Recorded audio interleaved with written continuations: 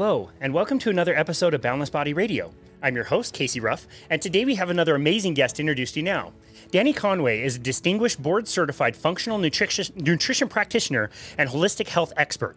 Dani brings over 17 years of experience to her mission of empowering women to break free from the diet mentality. With a passion for helping women achieve weight loss goals, increased energy, and renewed self confidence, Dani's holistic approach has transformed the lives of many. Dani boasts a diverse range of certifications in holistic health modalities and specializes in personalized nutrition strategies, ranging from low carbohydrate diets to carnivore diets. Her primary focus centers on identifying and addressing the root causes of hormonal and gut issues, facilitating comprehensive body rebalancing from the inside out. Recognizing the unique needs of women over 40, Dani dedicates her practice to one on one consultations and group programs, all customized to individual requirements. She firmly believes that there is no one size fits all solution to achieving optimal health. She is a well known figure in the field of holistic health and shares her insights on the ketogenic diet, carnivore diet, intermittent fasting, and her innovational undiet approach. Dani Conway, what an absolute honor it is to welcome you to Boundless Body Radio. Thanks so much for having me, Casey. It's awesome to be here. it's such an honor to host you. In the introduction, we mentioned that you work primarily with women and primarily with women over 40. You work with everybody. So I just wanted to clarify that. That's just where your specialty is. You do help all kinds of people out there. And also from your introduction, I realized that I can't ask you what I'm still waiting for one of my podcast guests to tell me, which is how should we be eating? Just tell us what to eat. We'll, we'll cut the podcast, we'll be done, and that will be the end of it. Right. I wish it was that easy, but I do think that everyone should be eating animal based foods, protein and fat as the staple or foundation of their diet. That's a good start. We can still get into the sticks on a lot of the particulars as far as that goes, but that is a very good start. Um, Absolutely. I, I, got to meet you in person this last year at KetoCon. KetoCon this next year is rebranding to Hack Your Health, I believe is the name of it.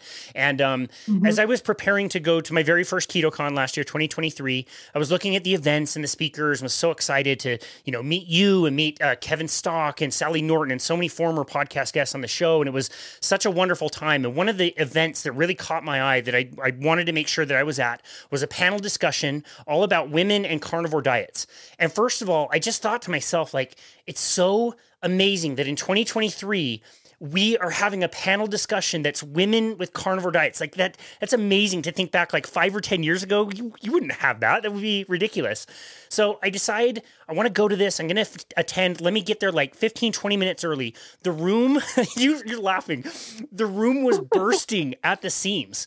There was no place to hardly sit. I was sat in the front corner on the ground. I saw Sally Norton there. She was sitting on the ground as well. And it was a wonderful discussion. And regardless of everybody's opinions and what they thought of things, I just I, I, marveled at the fact that we could pack an entire room full of men and women who are curious yeah. about the carnivore diet. What an amazing thing! Yeah, it was awesome. I remember um, as we were sort of getting ready to go on the little stage and in the breakout room, people just kept coming. and coming and there was men and there was women even though this was supposed to be like a quote unquote women's panel. So that just shows how um, hungry for information no pun intended but hungry for the information um, that people are wanting to you know heal and rebalance their bodies from the inside out. What is the right way to do that looking at individual nuance a lot of the questions obviously we we answered as well as we could you know in front of a, a group so to speak but my um, sort of passion is that one size doesn't fit all and looking at the nuance and the context for each person and how that plays out and all of that good stuff yeah, it's amazing. It was wonderful. I recorded it so I could listen to it again, and I got so much information out of uh, what is a complicated subject. And I just think about the work of people like yourself, the other panelists that were there, that they've been getting this message out to the point that we're past the kind of like can i can i eat meat and you know never poop again? Or will like die of a heart attack? For the most part we kind of have some good ideas about that. We're getting now into the more complicated things. It's because you have been at this for so long and doing this work and getting it out there i think it really helps to educate the public because they ask some really good questions. Yeah definitely. And i think that you know there's still people that are newly introduced to carnivore as a diet, meat only diet, and have the, you know, what happens with fiber? Do I poop? All those questions. Um, and then there are definitely, you know, there's definitely now the sort of deeper dive of, okay, this is beneficial and looking, you know, looking at, you know, how this is going to affect somebody long term. What are the benefits and all of those kinds of things. Yeah, I, I, yeah, it's such a good point, and there's so much nuance to all of this. And again, I think this is why mm-hmm. your work is so amazing, and why you do take that approach of there's there's no one size fits all. You have to individualize things. So let's talk about your own personal journey. I actually don't know that much about how you got interested in health, and you've been doing a carnivore diet yourself for a very long time. How did that all come to be? So I was 65 pounds overweight on a fat free diet in my 20s. Um, I was doing hours of cardio, hours of spin classes, uh, chicken, brown rice, and broccoli, all the bro diets, um, uh, Weight Watchers counting points, trying to eat as little fat as possible, and not getting anywhere. Gaining, losing, gaining, losing, gaining, losing. And I was just tired of all of the the yo-yo and the, you know, the the hamster wheel, so to speak. So that really sent me on a path looking for something different. Um, one of my biggest struggles was hunger and cravings. Um, and I was always craving fatty foods. I was always craving ice cream. I always say, like, there was never a shortage of ice cream happening in my body. But what was I short on? Good quality protein, good quality fat.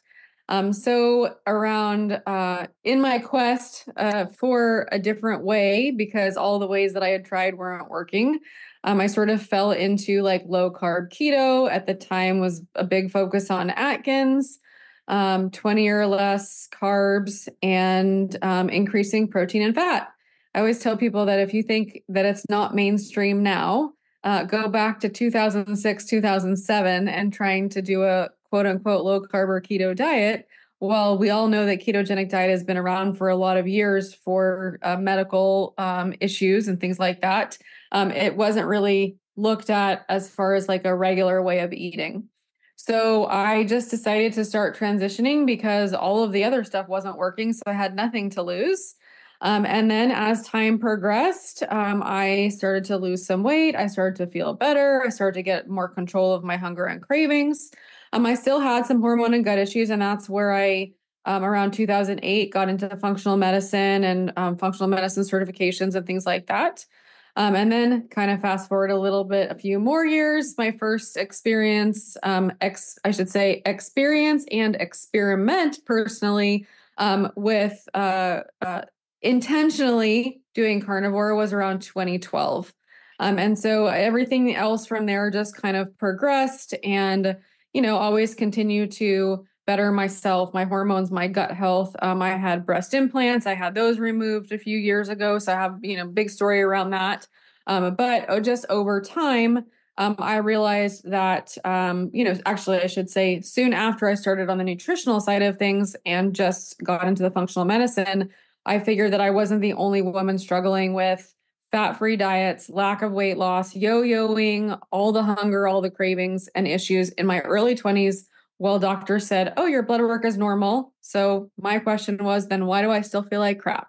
Yeah. So that's again, we're getting into the functional testing and just sort of things progressed from there. Um, you know, I got laid off from my corporate job uh, soon after I met my now husband. Um, and he said, you know, congratulations, you've just earned yourself all the time in the world to do everything you've always wanted to do. So I was like, what? um, but that led to my certifications and my practice, and obviously super grateful for um, where you know every everything that I've done, all the opportunities. I mean, I you know there was no social media back then.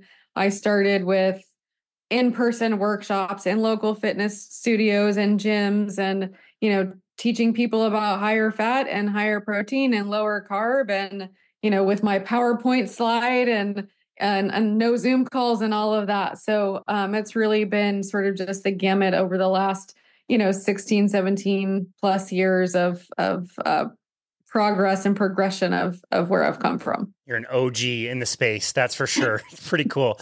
Um, okay, so you you mentioned that you started the Atkins diet because everything else wasn't working. How much persuasion did you need? Like, what was your trepidation?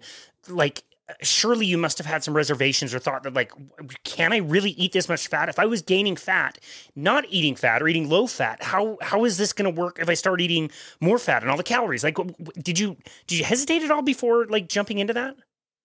Um so trying to like really sort of think back um you know like i said i had a lot of cravings and i also i remember sort of this distinct moment of like craving steak and craving cheese and feeling like, well, what if I just ate those foods? Like, what would happen if I just ate those foods? So I think I didn't really, I mean, you know, that was a lot of years ago. So I don't, maybe there was more trepidation. Um, but I also was like, like I said, well, what I'm doing isn't working. So the worst thing that could happen is I could do this other thing. I could eat these other foods and it still wouldn't work. You know, so there wasn't a lot of concern, more of like, you know, well, what if? What if I just try this and it does work? Yeah, I see. And the red meat thing, I find this more common, especially with women. Um, it seems like, regardless of what diet you're on, if you're trying to get more animal protein, whether you're doing low carb or carnivore or whatever, it seems like women, when they first transition on, red meat is kind of tough and, and difficult to get them to want. And they'll start with like chicken and fish, but before long, it'll be like, okay, I'll have a nibble of steak. Okay, maybe I'll have a little bit more steak. To all of a sudden, uh, I, most of the women that I know turn red meat savage over time. And, and I think it's their body really recognizing where those nutrients that their body needs is truly coming from. Is that something you've noticed as well? Yeah, so I would say there's sort of a few things with that. First, yes, I think that just the the brainwashing of dieting, of the dieting culture and red meat is bad is where people come from. So they might not realize that their story is red meat is bad, so I'm going to eat chicken and fish and lighter white meats kind of thing. Um, and the other piece of that puzzle is digestive function. So if they're not eating a lot of red meat and they're not eating a lot of meat protein in general, and they're relying on countless other plant based proteins, uh, they might not, or they've been vegetarian or vegan for any period of time, they don't have the digestive capacity to digest meat as they might need to. So that's why they might feel like, I can't digest those foods or I can't have those foods or whatever their story is around that. So I do think that some of it is mental, some of it could be like digestive, uh, low digestive capacity. Um, and so it can take time to build that up. There can be strategies to build that up. Um, and uh, again, just kind of, you know, there's the the fear of it shifting into like it's okay to eat red meat, it's okay to eat these foods. My body can accept these foods um you know and i you know i always say like our bodies hear everything our mind says so if our mind is saying no red meat red meat is bad i eat chicken or fish blah blah blah whatever that story is the body is going to also possibly reject it because we're stuck in that sort of cycle. Whereas if they say to themselves i feel safe eating red meat i feel good eating red meat i accept eating red meat those types of um, affirmations if you will that can really help with the process. That's a really good way to explain it. Just even remembering that digestive issue. Like you're right, like you're not going to have the right amount of enzymes or your stomach acidity might be a little bit oh, different. Oh, yeah. yeah. So like you said, you might need some help for a little while. We would hope that over time everything would kind of restore back to normal, but um, important to know that there are those um, things that can help along the way. Um, back to your personal story. So that was the transition kind of going from, you know, going from like I guess normal dieting to like low carb dieting. What was it like to then transition into carnivore and get rid of the rest of the plant foods? So it was pretty easy for me. Um, so I, I mentioned part of my story is my breast implants. So I I had them removed in March of 21. Um, I got them around 2012, and I started having sort of a uh, uh, what is the right word? relapse of symptoms um, of digestive issues and things that had been gone for quite a few years prior to that. Um, I blamed the anesthesia, I blamed the surgery, I blamed a lot of other things except the actual breast implants themselves themselves because I was in denial. You know, I was um, you know, it was just there's a lot of stuff. Obviously, I was, you know, heading into my 40s at that point in time, feeling like, you know, having this sort of midlife crisis. I was a health practitioner then I started having issues. And then it was like a super shameful time of like, I got these implants and here I am helping other women rebalance their hormone and digestive issues. And I have just now created a lot more hormone and digestive issues for myself that I had gotten over. So, anyway, to try to make a long story short, back to your question, um, after that sort of relapse of symptoms, I started doing a lot of um, bone broth fasting and meat only meals and uh, intermittent fasting. So I noticed that when I went from uh, when I had longer periods of time between dinner the night before and breakfast the next day, I felt much better digestively and energetically. So that was sort of my fall into intermittent fasting before people were actually doing it on purpose, kind of thing. Um, and so from there, as far as carnivore um, went, I, you know, just total transparency. I did, you know, would add veggies back here and there and then would feel crappy and then would take them out again and, you know, sort of had this um on again, off again because I was, you know, in denial that it was the implants, number one. And number two, I couldn't possibly want to be one of those people that couldn't tolerate plants. So there was a lot of sort there was a lot of that um you know again this was like 2012 so like I always say like we think that carnivore and keto aren't so mainstream now. They're way more mainstream than they were then and even in the functional health space there is a lot of pushback on low carb low carb for hormones low carb you know no fiber for gut health and all that stuff. So i sort of was having like this this is my own experience but yet also being you know involved with practitioner forums and things like that that were the other sort of you know chatterboxes in the background of like it should be this way you should have fiber uh, you know all of those things. So um you know just total transparency that sort of uh the bouncing back and forth that i had done you know um from a mindset perspective and my own experience over the years yeah, interesting. On the topic of implants, I'm starting to hear more and more of this happening. That the, the term explant is becoming more and more popular. What are some ways that people might know that like they, they may need to get that done? So the reality is um nobody can prove until the implants are out and someone has uh, a reversal or remission of symptoms that it was the implants.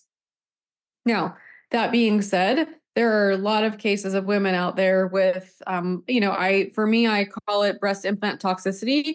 I wasn't as ill or sick as many women are with breast bii breast implant illness.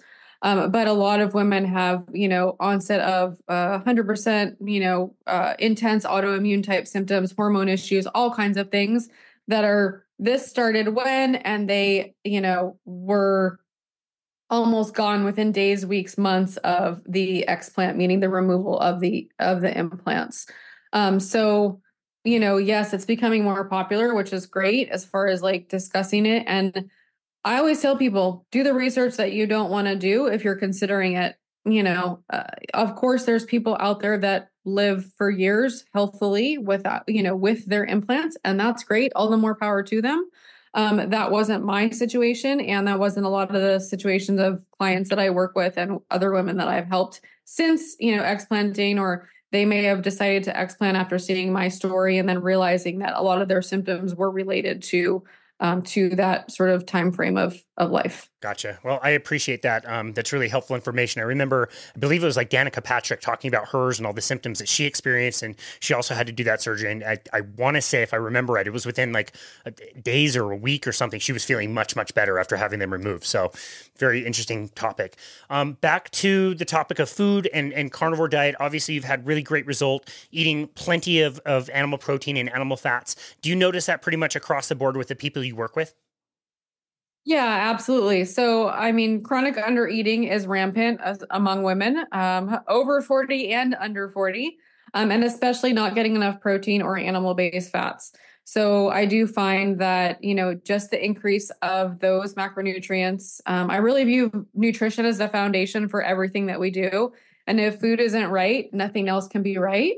Um, but if food is right and we are eating the right amount of protein, fat, and I like to say carbs, if someone is eating carbs, because I don't believe that everyone should be zero carb or has to be zero carb or even 10 grams of carbs. Um, the rest, you know, the hormones, the gut health, the detoxification, all the other things, you can sort of build on that foundation of food and nutrition.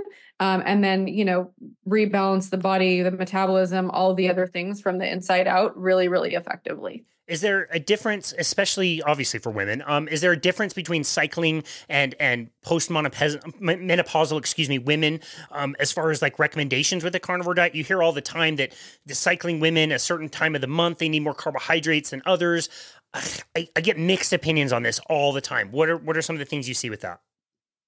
I love this question. So First and foremost, yes, the nutritional needs of a cycling female can definitely vary from postmenopausal female, even from perimenopausal. So perimenopausal is sort of that time in between when a woman is cycling regularly regularly and when her cycle stops completely. This is the perimenopausal is like they have a cycle every 30 days and then it stops for 9 months and they think they're almost there and then it starts again and then 6 more months and then it stops and so this sort of like on again off again.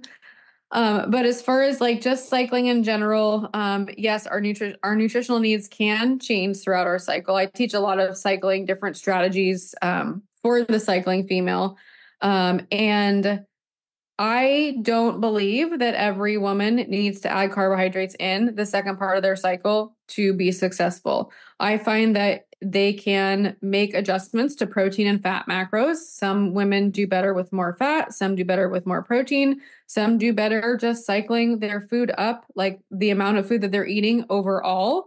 Um, some require more electrolytes, some require more B vitamins. So, uh, if they eat organ meats or liver, that can be helpful. If they're open to, t- you know, supplementing uh, with B vitamins, B12, liver capsules, you know, something like that, that can be helpful.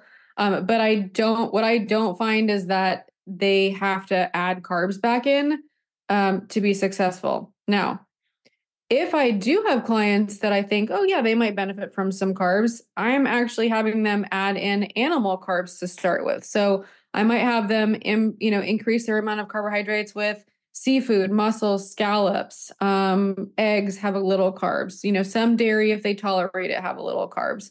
So when I say, you know, oh, I might have someone add carbs, I'm not talking about 150 grams from a half a sweet potato. You know, I'm talking about a small amount and just playing with the other things that they're consuming and seeing what kind of results we can get that way.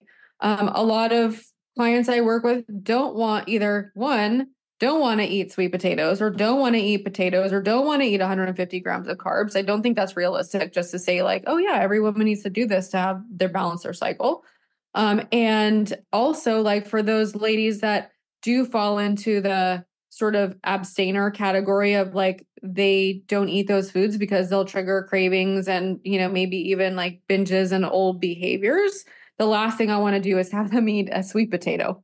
Um, so that's where some of those other um, strategies can come in of you know changing up the types of protein the types of fat again with you know the amounts the macro ratios you know the electrolytes the salt all those things are factors that we can kind of play with um, instead of adding carbs. Yeah that's very helpful. Do you find that getting enough fat tends to be the biggest challenge for a lot of women, especially. Like I, I notice people will tell me, like, yes, I'm eating the fatty meat, but then you press on a little bit to find out like how they're cooking the meat. And it's like, oh, you're eating, you know, 80, 20 ground beef, but all the all the fat's rendering out. Things like that. I notice that all the time. Do you think that's a big problem?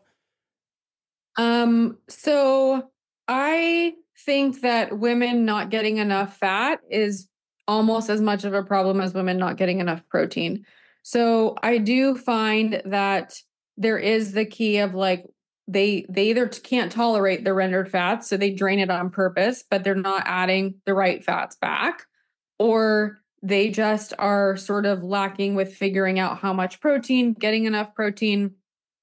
Now that being said, I will say that compared to 10 years ago, um, they're getting way more protein than they were. Like definitely the consumption of protein has sort of uh, increase and prioritizing protein, the context of that has increased tremendously over the last 10 years, which I am super happy about um, just in general. But what I used to see years ago compared to now with protein is not as much of a problem. Um, but I do see that sometimes it can be challenging to get enough fat. Digestive issues can make that problematic when uh, digestion digestion isn't optimized and they're having trouble with digestion digesting fats.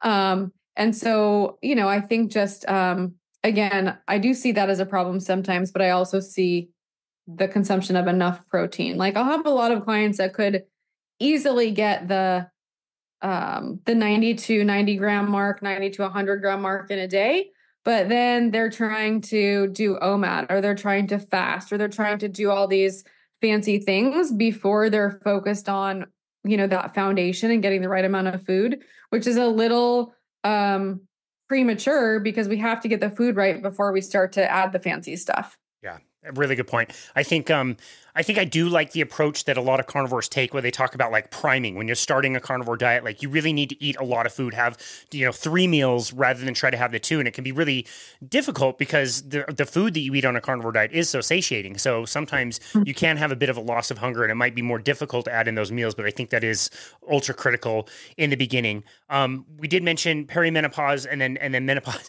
By the way, in the panel, I don't know if you remember, one of the panelists um, said that perimenopause like wasn't a thing. And it, I felt like there was going to be like a riot in that room. Um, for for for women past menopause, um, do, do the food requirements change any, or do they kind of think about the same way that, that a cycling woman would? Um, I think with okay, so postmenopause can definitely women can definitely um do better on not cycling so many variables uh, for sure, versus like a cycling woman and changing those variables throughout the first two weeks or second two weeks or weekly. Um, I kind of teach the coach on both both of those sort of ways to strategize and change the variables. Um, that being said, obviously my my practices, you know, probably 80 to 90% weight loss, fat loss, body composition. And so what I also want to just um, caution ladies about that are postmenopause is that when we get stuck in doing the same things over and over again, even if they're not cycling, what can happen is they can create an adaptation. So that so if we if we get stuck doing the same things over and over again, the body's going to adapt and then it's not going to change. So it's like you wouldn't lift a five pound weight for months on end and expect you to you're you know to expect you to be able to grow muscle. Well, some people might, but that's not obviously we know that's not going to work.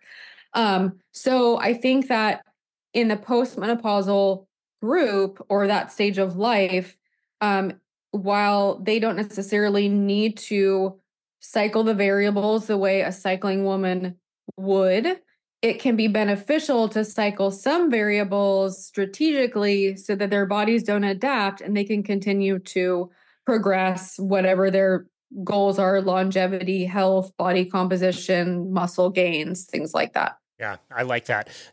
So, so speaking of what we eat, um, when we go to the tracking side, this is very general, and obviously everything you do is individualized, and people are different. And you have to understand your client and understand what their needs are and what's going to benefit them. Sure. As far as tracking go, where do you lean? Do you lean more towards we we really should track and we should try to hit these metrics and protein and fat and all the things we're looking at, or is it more like I would really like you to be intuitive and eat the fatty meat when you crave it, and eat the leaner meat when you crave it, and have the chicken when you want that? Like, where do you generally tend to lean on that? Okay, so I this is also one of my favorite questions. Um, so both, and it depends, right? So I am 100%, probably more than 100% believer in tracking, and I'll sort of explain my my stance on this. And I'm also a big believer in intuitive eating. However, what I do find is that it's very hard to accurately become an intuitive eater when you haven't tracked first.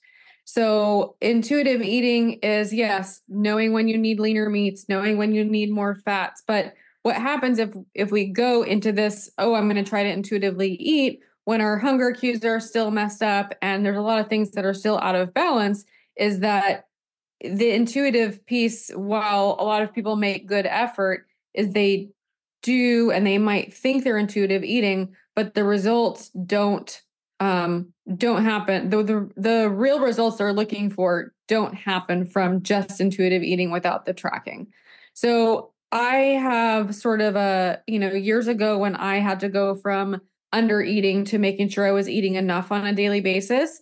Um, I had to flip my mindset of for tracking from let me track to eat as little as I could to survive, i.e., 1200 or 1000 calories, to let me track so that I get enough food so that I know I'm getting what my body needs so that I can build muscle and I can change body composition, drop fat, all of those things. So I think that the big one of the big things with tracking is a mindset shift of looking at why somebody should be doing that.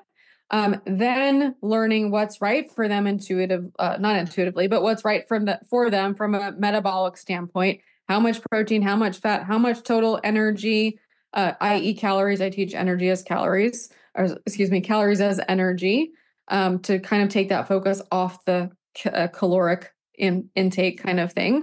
Um, making sure that they're eating in yes, I mean other here's another you know, dare I say, caloric def- deficit versus calorie restriction, because I do think there's a difference between a calorie deficit and calorie restriction. Um, and then sort of using all of that data and information. And I'm not talking about just over a couple days where someone may have tracked their food. I'm talking about over, you know, a few months even to longer than that to get to a place where, okay, I've done all this work. Um, and this is what I do with clients in my groups and my one on ones um, we do all this work and then they get to a place where okay this is what intuitive eating is this is where i can you know maintain my results and and all of that knowing what i know now because of i know how my body responds and and all the sort of work that goes into that I love that. That's going to take a, quite a bit of effort. But when your body is intuitively telling you to eat an entire pizza and have the ice cream that you used to eat all the time after that, that's and that's what people think of intuitive eating and we had that hope it's dying now but that push for like the intuitive eating diet and you can eat whatever and your body will tell you well that's probably not going to work for most sugar addicts like myself. Like i will have an entire sleeve of oreos and follow that up with an entire sleeve of oreos. You know what i mean? Like when you are in carnivore you can eat intuitively. It's a lot easier because you know what your foods are and you know what your foods are not you know? Yeah, and I think even eating intuitively within carnivore, um, if someone has a metabolism and issues that are like let's just say broken for you know lack of a better term at this point um eating until you're stuffed eating until you know thanksgiving full all these terms that we hear on carnivore um, i think that they can create a lot of problems for many people. They can also create problems for someone who comes from an under eating background and telling someone to eat till they're stuffed and eat all this food eat three pounds of meat a day can also be super scary. So, you know, do some of these uh, recommendations work for many people out there? Of course, absolutely. We see it every day.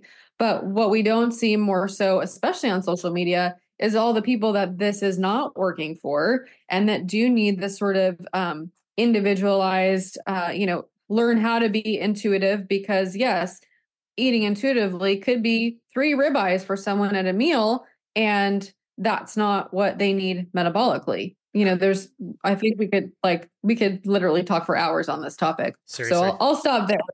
Yeah i mean i think that it's just um there's so many different directions to look at it there, there are, yeah, and I appreciate your opinion on that. And I believe it was Judy in the panel that we've been talking about that, like, really made the point of like, we're we're learning this, we're figuring this out. Like, we don't have all of the answers. Like we're, we're all mm-hmm. in, we're doing this and answering these questions and we have differences of opinion, but we're, we're trying to sort this out. And, you know, the, the, the people going through this are a big part of it and, and learning what is best for them is really important. All of this is kind of centered around the, the topic of women and, and, and their hormones. And this gets brought up all the time and people have so many different opinions about it. I really, really appreciate the way you presented it. I can't remember when this was, but it was on Instagram and you presented the hormones into like five different kind of like main buckets. And if I get this right, I want to say it's insulin, leptin was one, uh, thyroid was one, I think adrenals were one, and I want to say that sex hormones were the, the five. Did I did I get that? Yes, you got that. Nice, awesome. Um, can you explain your thinking around that and where where those things can be problematic? Yes. So there's okay. So each each of those hormone categories are again its own category, but the thing of it is like they all play together. So this is why test don't guess is my sort of approach is making sure that you look to see or you test to see what the hormones are actually doing before making any major changes or supplementation or things like that. But for the most part, you know, all the hormones play together. So while we have to look at leptin and cortisol and adrenals and sex hormones and all the things, again is um, looking at what they're going to be doing together and how they they're affecting each other, and then kind of going from there with what the best next steps are for each person. Got it. So, I mean, this is this is. So, do you recommend that people get tested from the very beginning? Is that an investment that everybody should do from the beginning if they're starting to want to improve their health? Um, million dollar question. So, I don't think, I mean, to be really honest, I don't think that everyone has to get a hormone test when they first start. Um, I think that, I mean, I didn't, you know, I didn't, when I first started eating this way, it was before I knew about functional testing.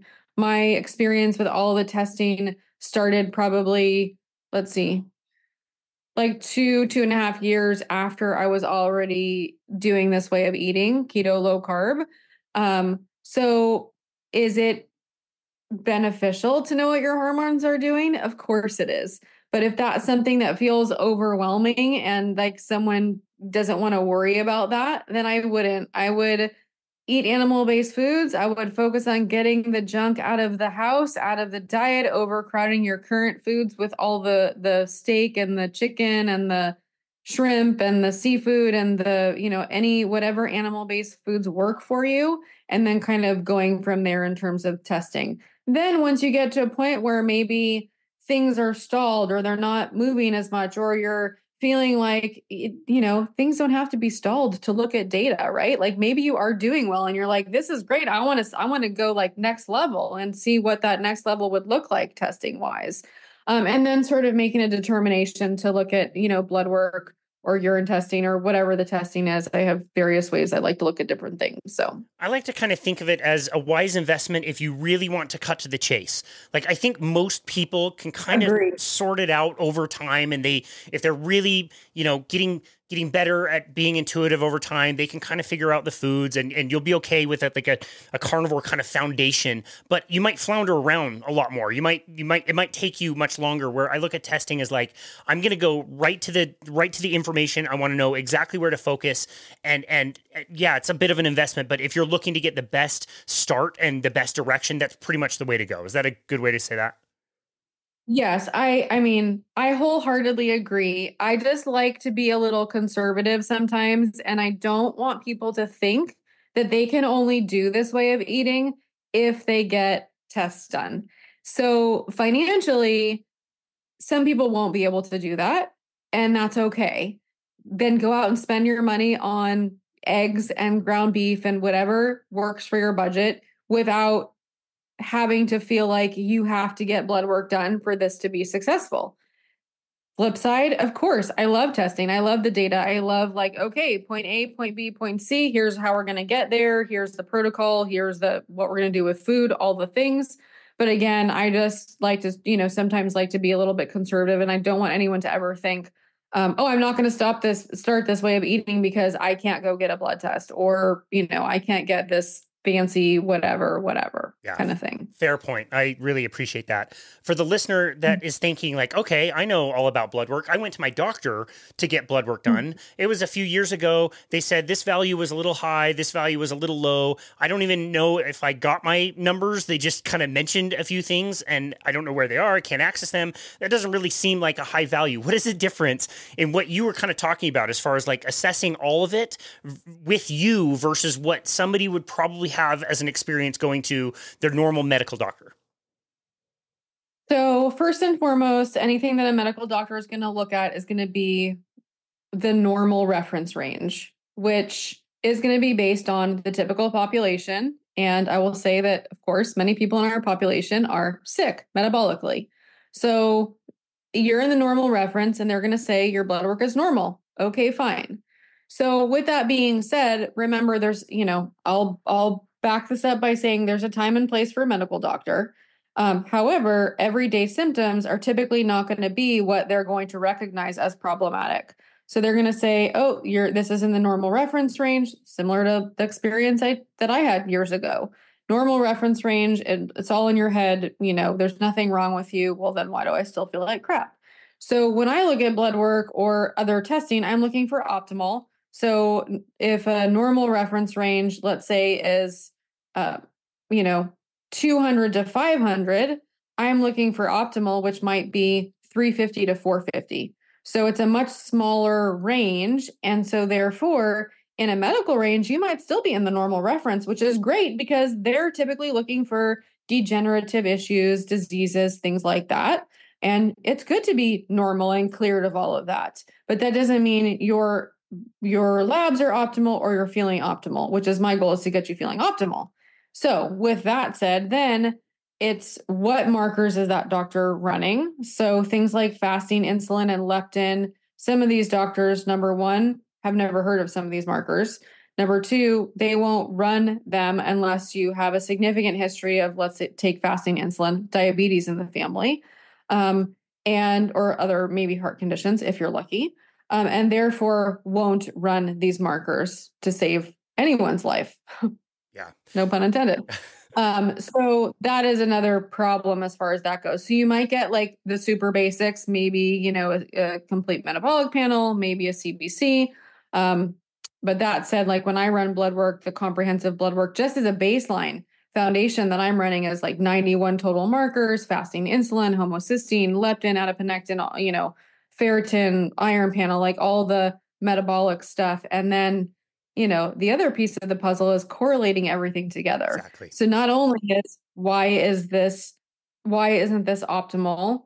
But it's okay, this one isn't optimal, but what are all these other areas doing? what is liver detox doing what is the gut doing what is the you know blood sugar is there hidden you know i see hidden blood blood sugar dysregulation all the time where fasting glucose looks normal uh insulin even looks normal but then there's maybe a, issue with c-peptide or other metabolic um, dysfunction that's showing me there still might be hidden insulin resistance and that could be the reason why someone's not losing weight or not sleeping at night or not having a resolution to their autoimmune, you know, issue, whatever that is. So there's a lot of factors, but hope, hopefully that helps a little it, bit. it's it's perfect, and I think that's where the money is, and where you know you found a really good practitioner when they're not just looking at isolation at one marker, they're looking at the constellation of all the different markers and seeing how everything interacts with each other, and then they're able to even if they don't come up with like the exact best answer, it might be like we have some clues and a direction that we can take steps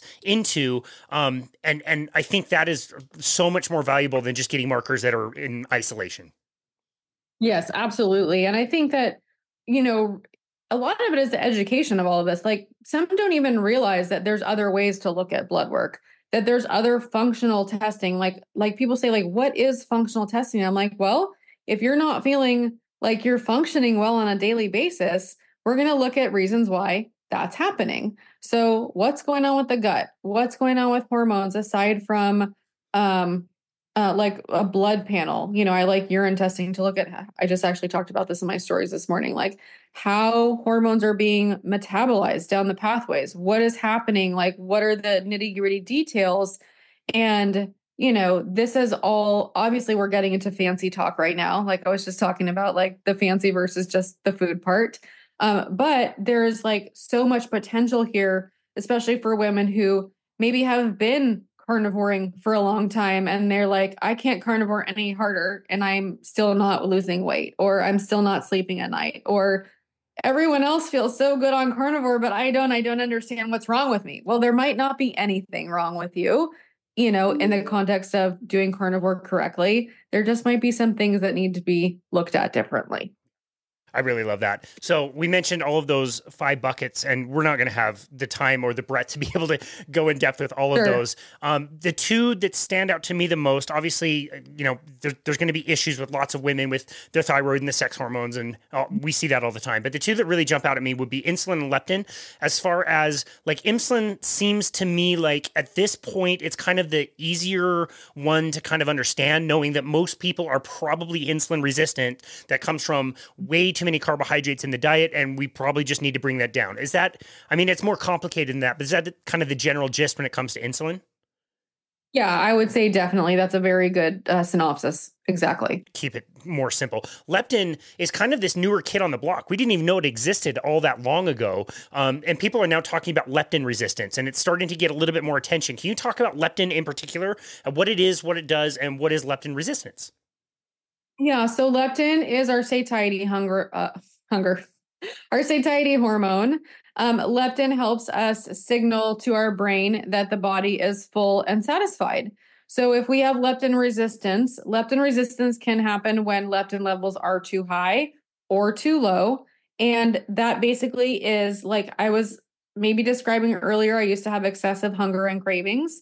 I mean, I could eat massive quantities of food and still eat massive quantities of food after that. And I'm not talking about just like sugar and it was like a sugar craving. It was like large meals at restaurants with very big servings and I could eat a lot of food.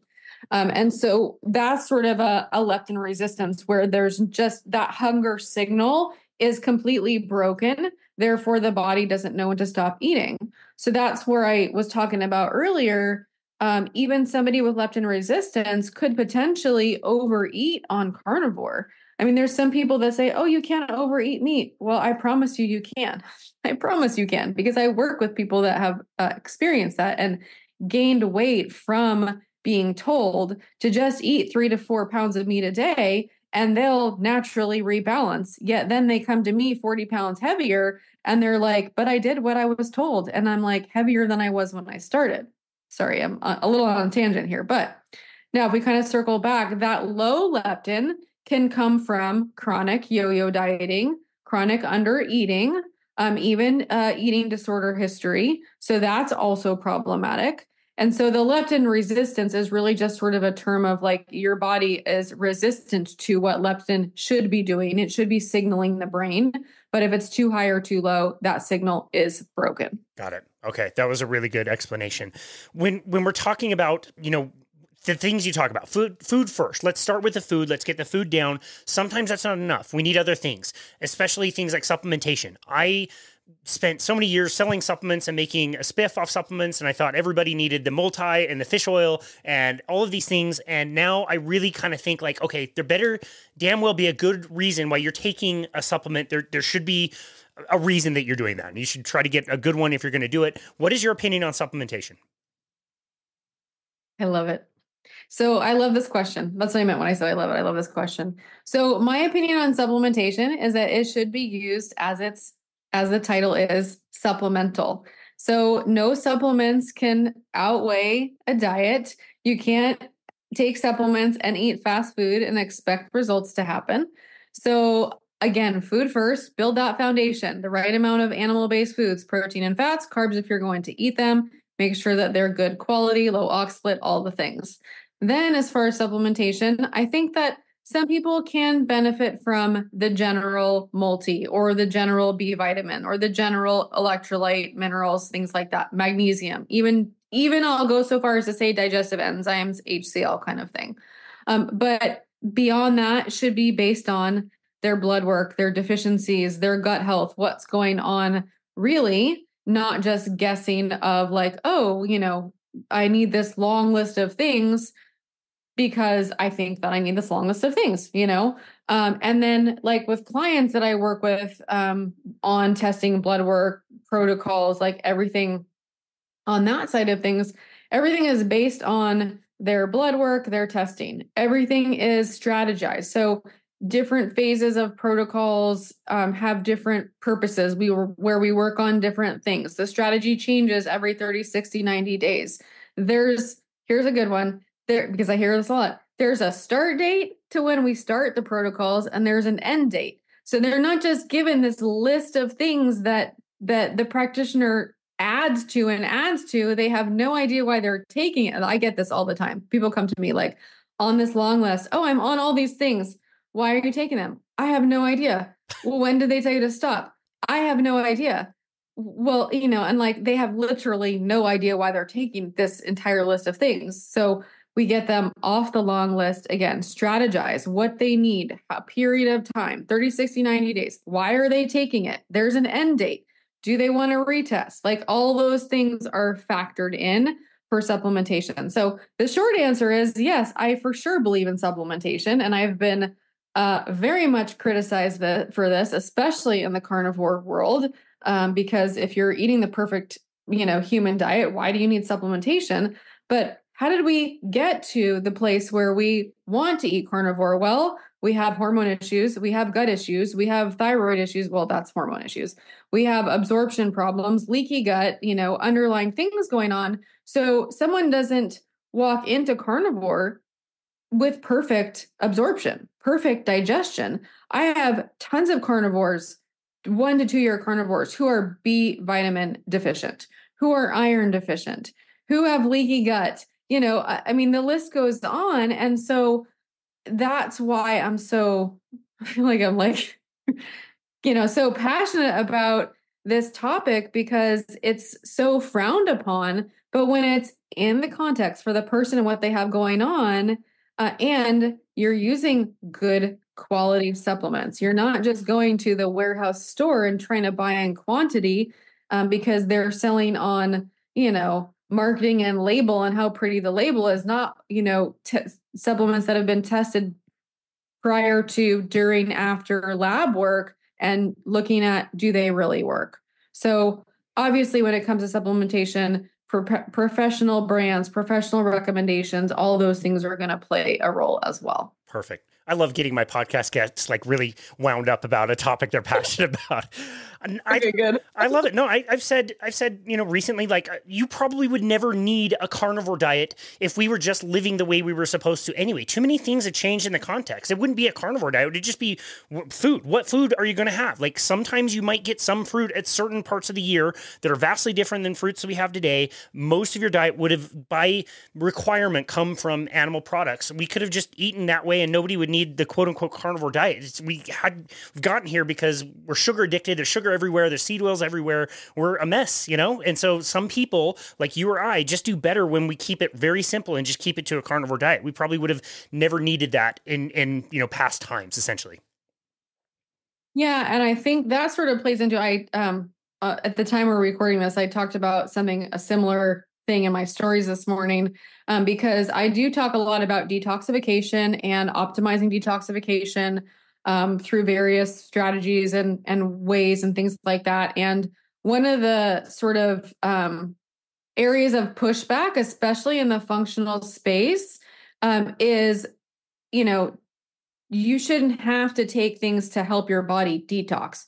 You you know you have a liver. The liver does what it's supposed to do. You shouldn't be having to do supplements and you know things strategies methodologies to help the body do that the friggin' reality is that we have toxic food, we have toxic toxic environment, we have you know exposure to pathogens, mold, mycotoxins, all the things that plague the body and that sort of back things up. So you know even when I have clients that do they've been carnivore for a year or two and they go on their protocol and they're like i never thought that i would have detox symptoms because i was so clean before and they do and they're just feeling so much better and their skin clears up and all these things you know happen and even weight loss can happen from detoxing because our body holds onto toxins in different ways.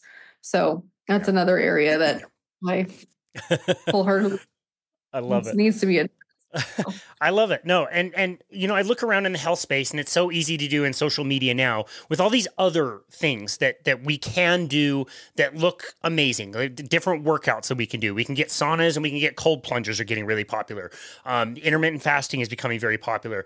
And it's cool because these are things that can help certain people with certain things, but I do worry a little bit that if some is good, more is better. And especially women who might be successful and they're working really hard and they're doing the intermittent fasting and they're doing the cold plunges and they're doing saunas and they're like, I, I, I worry that all of it can kind of add up and really be a very difficult load of stress to get over. Is that something you deal with all the time? Yeah. So that's what I say. Usually, what I say is like, too many hormetic stressors are too many hormetic stressors. So I think that, you know, the cold plunge, like I, it's all great stuff. The cold plunging, the infrared sauna. I, I have a sauna. I love my sauna. I am not a big cold plunger. Do, will I take, you know, alternating hot and cold showers? Yes. Do I swim in a pool that, you know, some days is colder than others and that's a cold enough plunge for me? Yes. Uh, but just in general, yes, we get into the extended fasting and the intermittent fasting, and then the under eating, and then they have a history of under eating, and then they're trying to, in, you know, infrared sauna, and then they're cold plunging. It's like enough is enough, less is more, a hundred percent. And you know, just there's so much good and bad influence from social media, seeing all these good things. Yet, it, you know, again, I'll just say in context of the person, metabolically, what they can tolerate, and all of that. So, you know, there are times when cold plunging is going to be stressful for someone who has thyroid imbalances and they're naturally cold all the time because their thyroid isn't working properly. And could the same person do cold cold plunges and benefit from it? Definitely. So again, nuance, context, individuality, always, always, you know, sort of I should say takes I was gonna say takes the cake, but takes the stake. Takes the you steak. know, um, you know, in terms of you know what to look at and and that kind of thing. Yeah, very well explained there as well. Tell us how you're working with people. We mentioned in the introduction you're working with individuals. You also work with groups. I think your group programs sound really engaging and interesting. Can you tell us a little bit about how you're working with people these days? Yeah, absolutely. So I have my one on my one on one practice. Um, I work with clients one on one from all over over Zoom. We do um, blood work and functional testing, and everything is sort of dialed in for the individual um, person. I have different programs that include different, you know, coaching, amount of coaching sessions, testing, all of that. Um, I have my group program, the Weight Loss Accelerator program. So that is an online group where I cover um, individualized uh, macros and a lot of different topics in a group setting. Um, a lot of benefit there the ladies get the benefit of the individualized coaching in the group setting but they also get the benefit of the q&a and hearing the answers to all the other ladies questions and struggles. And maybe they don't know they have a question until someone someone else asks and then the answer resonates with them so it helps them as well. So that's always um, i love the groups. And then i'm excited because i am in the process of creating a uh, my current group does not include any blood work or testing um, but i am hopefully going to be releasing a program later this year that will be a um, small exclusive group that will actually also include blood work as well. So i'm looking forward to that. So it's exciting. yeah that's that's exciting. When we were working for a big corporate gym, um, they would make us do like like short term. It was about the same length of time. It was about eight weeks, sixty days of a weight loss contest. We would give people, you know, the standard whole grains and vegetables, and it it, it sucked. It would never work. And so it, basically, we kind of did our own thing. My wife and I, we would just give people low carbohydrate meal plans, teach them how to do keto and carnivore if they wanted to. We got great results. It was awesome. And part of that is we would do like seminars with the people that signed up with us. They could come and do a seminar with us. And in the group, I was I was I don't know why I was surprised by this. It was really engaging, but uh, I, I, found that over time the group wanted to hear less and less and less from me, and really appreciated the group setting and hearing from themselves and somebody that had maybe started three months earlier than another person could give them advice and they could talk and workshop things. More than me like telling people exactly what they had to do it's more like you, need to be in a community and talk about this. Uh, I, I'm, I'm sure you get a lot of that in your group as well yeah, definitely. I think the community aspect is really important. Um, and then in in the weight loss accelerator, which is my group program, I find that a lot of the women they've been in some communities and they've been in some groups, but um, there's a lot of just misinformation out there and um, not, uh, let's say, uneducated people running, you know, running the show, so to speak, and not necessarily having sort of the background and being able to sort of guide people in the same way um, they often have also said that they don't necessarily feel safe in some of the bigger communities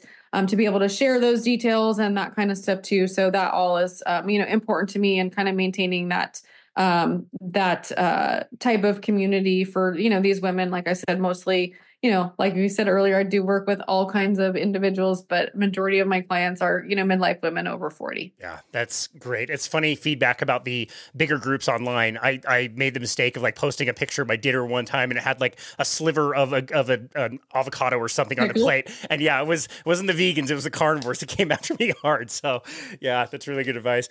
Uh, Dani, this has been amazing. This has been a really cool conversation. I'm a little disappointed you didn't tell us all exactly what to eat, but the, it's the nuance. It, it is what makes this fun and it uh, makes coaches like you so valuable uh, practitioners like you like to be able to work with people on the individual needs and, and what to do and when and what you can play with and workshopping things is really awesome. Can you tell our listeners where they can go to find you and connect with you and your work? Yes absolutely. So um, on instagram at carnivore.keto.fitness I do tons of Q&A in my stories and I like to share educational information on my posts uh, on my website, nutritionthenaturalway.com. Um, email direct is dani at nutritionthenaturalway.com. And I do also have a keto and carnivore Facebook group as well. So I like to hang out in all those places and I do uh, tell my my individual clients and the ladies in my groups exactly what to eat. So there's a little uh, perfect for you. Perfect. I love it. Uh, and, we, and, we, did talk about KetoCon. It is rebranding to Hack Your Health. If somebody did want to attend, I believe you have a code that you could um, give them and they could save a few bucks. Absolutely. So that code is Natural Way. I will. Um, very excited to join the carnivore panel again this year. It's troubleshooting the carnivore diet and I will, um, Judy Cho will be hosting the panel, and it will be myself, Dr. Lisa Wiedemann, carnivore doctor, and Dr. Baker, and Dr. Sarah Zaldivar as well. So, very excited to be amongst that um, very smart group of um, carnivore uh, advocates. not, not bad. It's not bad. Yeah. I hope exactly. I hope Robin learned the lesson to get a bigger room this time yes, we're uh, we're looking forward to being on the main stage this year. So I, I hope to see it. everyone. There. I love it. Uh, well, again, this has been an awesome conversation. Thank you very much, Dani, for taking the time to be with us. Your journey uh, through health has been, um, you know, long and and and I don't know. You've gone through a lot, and to be able to share that now in a way that people can really relate to is really helpful. So, thank you so very much for all of your work, and thank you for coming on our show today. We appreciate you. Absolutely, Casey. Thanks so much for having me. It was great. Absolutely. And this has been another episode of Boundless Body Radio.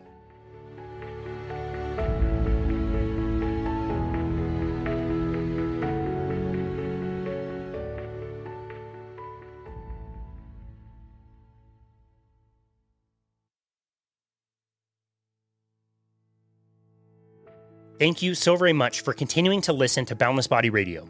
As 2023 has come to a close and we're starting another new year in 2024, I always try to reflect on not only the direction that we want to go in the future, but also how much we have grown in this last year. Our podcast has now generated well over 400,000 downloads from all over the world, and it's all thanks to fantastic listeners like yourself. I hope you are as excited for the new year as we are around here. The lineup of guests that we have coming up is absolutely staggering, and we're always striving to bring you the best content from the most amazing people in health, nutrition, and wellness.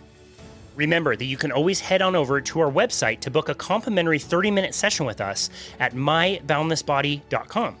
On our homepage, there is a Book Now button where you can select a time to speak with us about your health and fitness plan, especially for the new year. We've absolutely loved chatting with so many of you out there to bounce ideas off each other and try to come up with plans to help you achieve specific goals.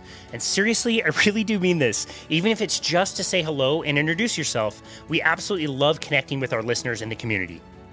Be sure to check out our YouTube channel as well if you want to watch these full interviews and also shorter interviews on more specific topics that are taken from these interviews. We've gotten really great feedback over there, and it's also a really fun way to interact with people who comment. We read and reply to every single YouTube comment we get, so be sure to subscribe to our channel and leave as many comments as you like to keep the conversation going. And of course, if you haven't already, please leave us a five star rating and review on Apple Podcasts. It really is the best way to make sure that the podcast gets out to more listeners. Your five star ratings and reviews are the best way to support us here at Boundless Body and to support the podcast at Boundless Body Radio. Really only takes a moment and it's very meaningful to us. Cheers to 2024 and thank you again for listening to Boundless Body Radio.